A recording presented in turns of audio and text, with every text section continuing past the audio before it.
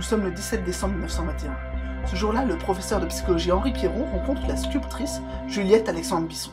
Celle-ci se trouve être la protectrice d'Eva Carrière, une médium aux capacités exceptionnelles puisqu'elle revendique la faculté de matérialiser une substance appelée ectoplasme dans des conditions contrôlées. Leur entretien aboutit à un accord. Pour la première fois, l'ectoplasme va être étudié à la Sorbonne. À l'origine de cette rencontre se trouve le journaliste Paul Eusé, qui consacrait une série d'articles dans le journal L'Opinion à répondre à la question Les morts vivent-ils? Nous sommes dans l'après-coup du charnier de la Première Guerre mondiale et le spiritisme de consolation semble n'avoir jamais été aussi fort. Eusé mène une campagne extrêmement critique contre tous les savants qui abondent dans le sens de ses croyances en l'au-delà. Et c'est pourquoi il définit son rôle comme celui d'un agent de liaison entre la science et l'ectoplasme. Il faut dire que le scandale était à son sommet. En 1918, le Collège de France avait accueilli une conférence du docteur Gustave Gelé sur la physiologie supranormale, accompagnée de plusieurs photos de l'ectoplasme sortant du corps d'Eva Carrière.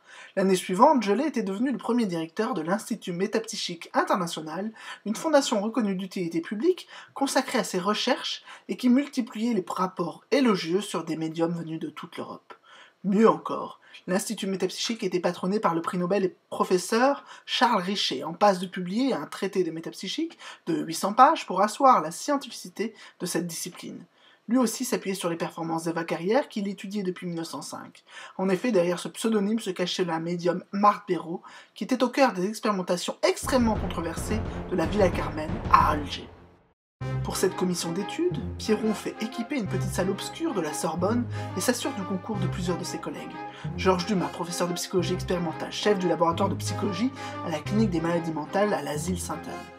Louis Lapic, professeur de physiologie à la faculté des sciences de l'Université de Paris, directeur du laboratoire de physiologie générale à la Sorbonne, et Henri Logier, alors chef de travaux dans le laboratoire de Lapic, et appelé à devenir le premier directeur du CNRS et le secrétaire adjoint de l'ONU au sortir de la Seconde Guerre mondiale.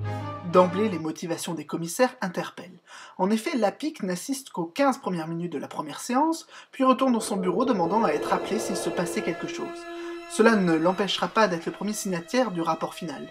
Au total, 13 séances sont tenues du 20 mars au 23 juin 1922.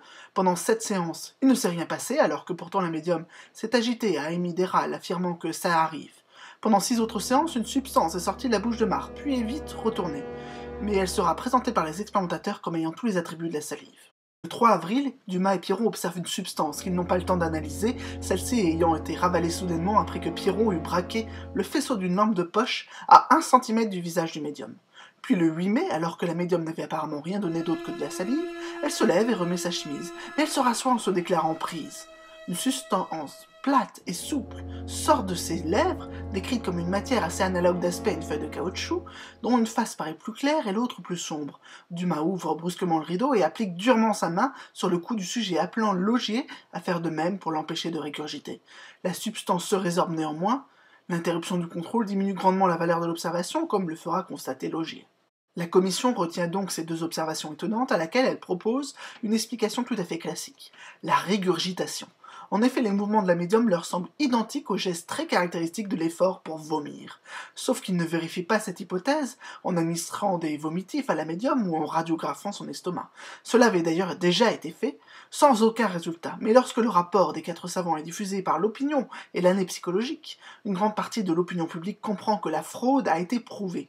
Il se trouvera même des historiens pour perpétuer ce raccourci et confondre le verdict populaire et la discussion savante. Le journaliste scientifique René Sudre se fera le porte-parole des métapsychistes. Il discutera dans une série d'articles du tour de passe-passe consistant à faire passer pour scientifique ce qui n'est rien d'autre qu'une opinion. Dans la lutte pour la métapsychique, puis dans l'introduction à la métapsychique humaine, il va bien montrer comment ce domaine ne saurait se réduire à la vie expéditive de quelques sceptiques, ni à une quête éperdue de la confirmation empirique de la survie. Mais rien n'y fait.